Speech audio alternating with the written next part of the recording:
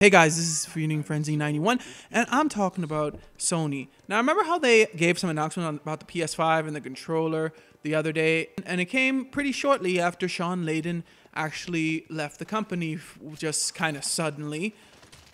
But he wasn't apparently the only one to leave the company. Apparently, the president of Sony Interactive Japan has also left the company, though he was 60. So, and apparently, when you're 60 in Japan, that's like being 65 in the States. Not literally, but you know how many companies in the States, I think 65 is the retirement age. But in Japan, it seems like 60 is the regular age of retirement. So that's not too suspicious. But then Kaz Hirai, who was chairman at Sony, is also retiring. And Sony is apparently also having layoffs within its own company right now, too. So this all just kind of seems very suspicious. Was the whole announcing crossplay and PS5 announcements just a way to distract us from all these people that are leaving or being laid off from the company?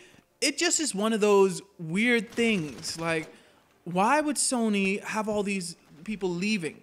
Perhaps the company is going in a new direction and they kind of gotta out with the old and in with the new. Not saying that these people are old and washed up, but I'm just saying like maybe the company is like, listen, we can't do what we want to do with all these people who may be against us doing whatever it is. Maybe there was like a bunch of internal debate and one side won and they were like, listen, uh, the rest of y'all need to go because we need to employ our new strategy or whatever it is new that Sony may be doing come next generation or even the rest of this generation.